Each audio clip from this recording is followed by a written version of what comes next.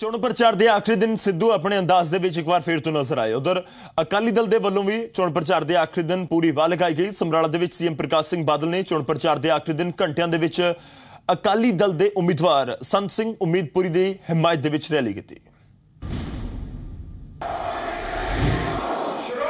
ਸਮਰਾਲਾ ਵਿੱਚ ਸਰਦਾਰ ਪ੍ਰਕਾਸ਼ ਸਿੰਘ ਬਾਦਲ ਨੇ ਅਕਾਲੀ ਦਲ ਦੇ ਉਮੀਦਵਾਰ ਸੰਤਾ ਸਿੰਘ ਉਮੀਦਪੁਰੀ ਦੀ ਹਮਾਇਤ 'ਚ ਜਨ ਸਭਾ ਨੂੰ ਸੰਬੋਧਨ ਕੀਤਾ।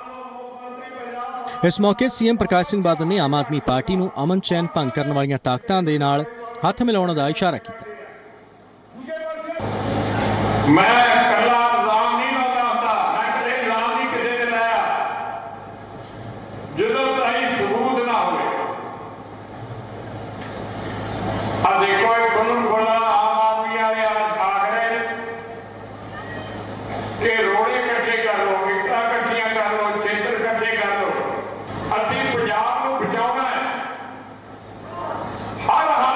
ਪੰਜਾਬ ਦੀ